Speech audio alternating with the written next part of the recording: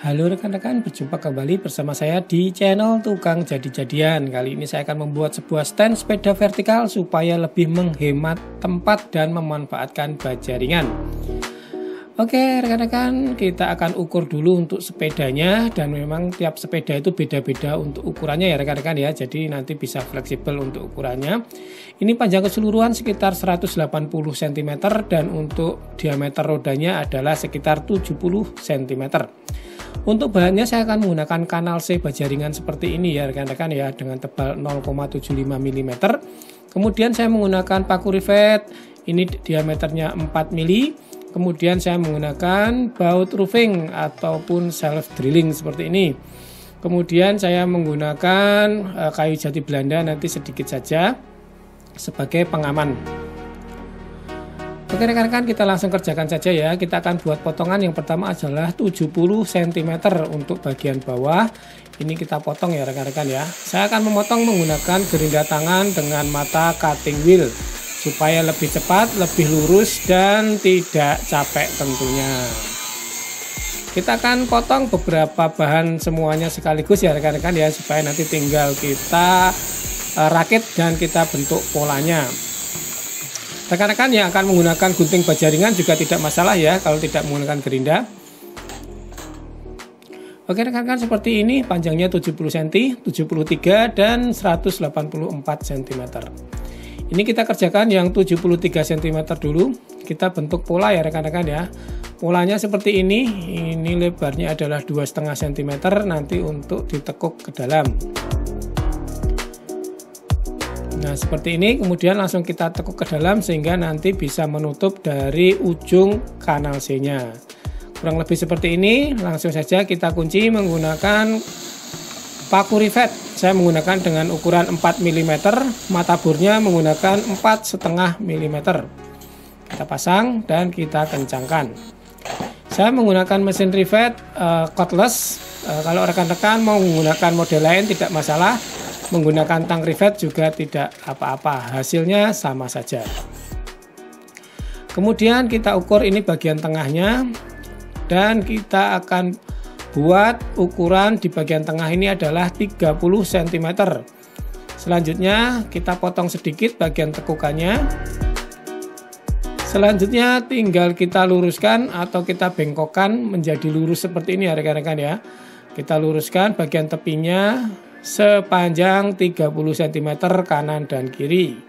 Kurang lebih seperti ini sudah saya luruskan. Dan kita akan buat untuk pengaman e, rodanya atau bannya ya rekan-rekan sepedanya menggunakan kayu jati Belanda seperti ini. Kita belah menggunakan gergaji benso atau rekan-rekan juga bisa menggunakan gergaji model lain. Ini tebalnya sekitar 6 mm.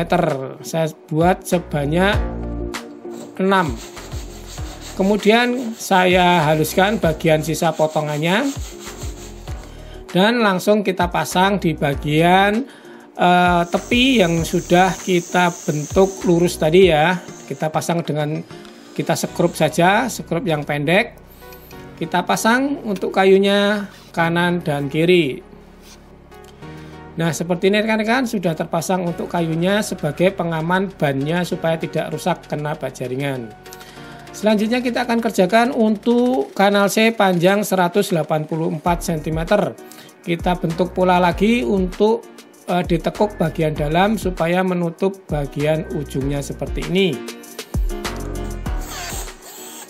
Prosesnya sama dengan yang tadi ya rekan-rekan ya, hasilnya juga sama. Kemudian sama dengan yang tadi kita buat celah juga untuk pengaman roda untuk bagian roda belakang tapi posisi vertikal kita pasang juga untuk kayunya kanan dan kiri ini untuk roda belakang bagian vertikal ya. Nah seperti ini untuk roda belakang vertikalnya sudah terpasang dan saya juga sudah buat lagi satu bagian di bagian atas untuk roda depan. Kemudian ini untuk bagian bawah tadi kita buka dulu sekitar 3 cm kita luruskan seperti ini ya menggunakan tang saja. Hasilnya seperti ini dan sekarang tinggal kita lanjutkan untuk menggabungkan kedua kanal C ini menjadi letter L. Tinggal kita gabungkan seperti ini bagian ujungnya kita masukkan kita rapatkan dan langsung kita baut menggunakan baut roofing supaya lebih kuat. Kita baut sebanyak dua ya rekan-rekan di setiap sisi kurang lebih seperti ini sudah menjadi letter L ya yang satu panjang. Kemudian ini kita akan buat penyangga untuk kanan kirinya supaya nanti tidak miring dan kuat untuk dudukannya. Kita bagi bagian tengahnya dengan lebar 7,5 cm kemudian kita akan potong sedikit menggunakan gerinda tangan. Seperti ini. Bagian tengahnya kita belah dan kita tekuk keluar. Seperti ini ya rekan-rekan ya nanti untuk sistem pertemuannya. Bagian yang di bawah ini kita luruskan juga. Kurang lebih seperti ini untuk pola bagian tengahnya. Sekarang tinggal kita masukkan di bagian ujung letter L nya kita palu sedikit supaya lebih rata dan rapat. Kemudian langsung kita pasang paku rivetnya. Kita pasang di beberapa bagian supaya lebih kuat untuk di beberapa pertemuan kita pasang paku rivet semua. Dan untuk bagian samping ini saya menggunakan baut roofing. Kemudian saya memanfaatkan tali webbing seperti ini ya rekan-rekan ya. Nanti untuk mengikat roda bagian atas. Nah seperti ini kita pasang dengan cara kita rivet saja sudah cukup. Ini tali webbing biasa digunakan untuk mengikat kargo kemudian kita akan membuat sebuah pengunci atau kaitan ya rekan-rekan ya seperti ini menggunakan kanal C potongan saja. Nah nanti kita kaitkan di uh, baut roofing seperti ini. Selanjutnya kita pasang untuk pengaitnya di ujung bagian tali webbingnya dengan cara kita rivet juga seperti ini.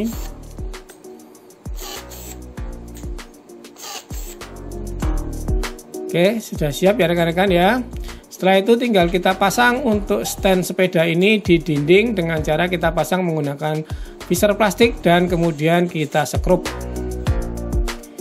Oke rekan-rekan kurang lebih seperti ini hasil akhirnya berbentuk letter L dan bagian bawahnya ada penyangga kanan kirinya menggunakan bahan kanal C dan beberapa kayu.